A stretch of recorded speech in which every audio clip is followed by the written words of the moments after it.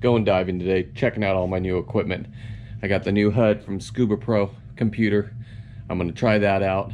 I'm also gonna check my dry suit right there.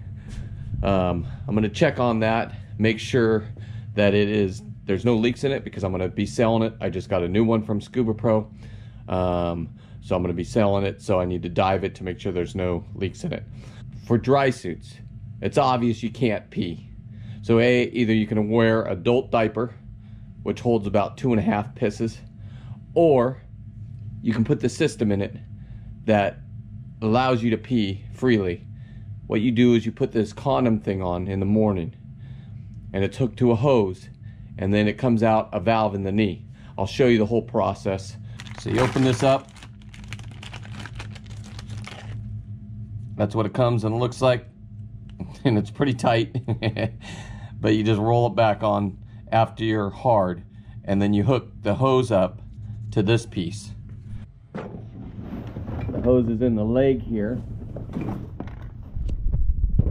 So here's the hose that you hook it up to. And it, the pee goes right down there and out the valve that's and out the valve that's right there. So basically, I'm gonna use a banana to show you so I don't get a strike against me on YouTube. Take this tab, just pull it all the way down. Just like that. Now what you do is you take the adhesive and warm it up and get it so it's ready to go. You pull the top off. And that's basically what you're looking at. So it's on there tight. An important note, a very important note. See how there's no hair on this? That's exactly what you need because when you take this off, and if you're not shaven, it'll rip everything out.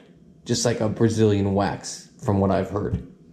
So basically, this is a Scuba Pro undergarment that you wear. The good thing of what Scuba Pro did is they made it so you can zip up right here. So your banana will look like that. And that is what you hook up to your hose. So basically what you do is now you just insert this into here, just like that. So in the end, that's what it will look like. You can actually piss right out here, down, and it goes down into the knee and comes out that other end.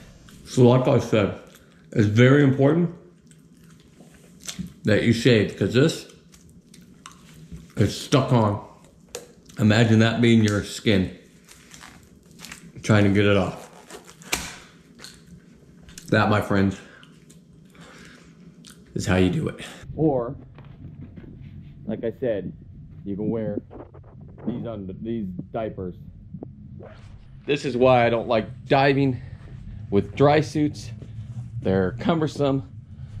Um, but my new one is, from Scuba Pro is not supposed to be.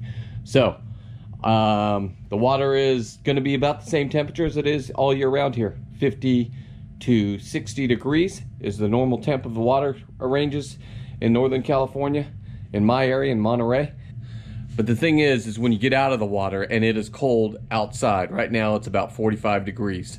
I don't know what the Canadian, I don't know what that is in your world. Um, so anyway, when you get out and you're completely dry and now you're in a big warm pajamas undergarment by Scuba Pro. K2, gotta love it. Anyway, gonna try all this out. Follow along. So I'm all hooked up into my dry suit and we're gonna make sure the P-valve works. That's the P-valve right there. And if everything works, you'll see pee flying out of that in a minute. I'm peeing. There, it's coming out. Yes, it worked. Woo! Okay, that wasn't a heavy stream. Okay, just finished my first dive. Conditions have changed, as you can see. The wind has come up. Visibility was about three feet. Suck balls. There would be no killing today. But it doesn't have any leaks, and I was able to pee, like right now. So there's the plus side, I'm dry, so this wind chill isn't affecting me.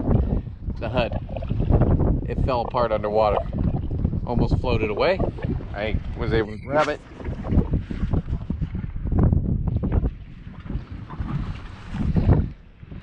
I was able to grab it. This piece came off. I think I got it on video under there floating away. So it could be the way I installed it. I don't know. But man, that could have been a costly mistake for Moa. So I'll figure it out. Call the rep, call the dive shop. They're pretty knowledgeable. Find out if I did something wrong. This is where I noticed my HUD fell off my mask. And I dropped my spear gun. And I was grabbing it. I got it, and then I found the bolt floating right to the left.